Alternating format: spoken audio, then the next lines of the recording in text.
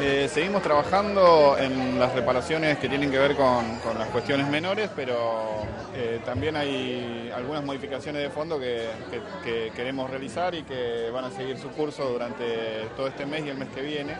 Ampliaciones y demás que tienen que ver con el crecimiento de los establecimientos municipales que en general eh, sostienen una demanda creciente.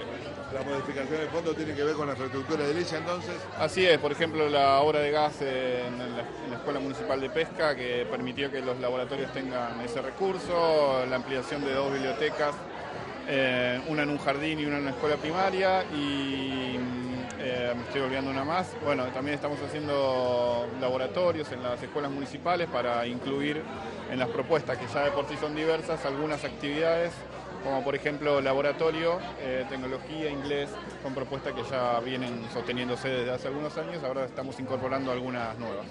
Pablo, contanos cómo va a ser el municipio para reemplazar la quinta hora que ha quitado el Estado.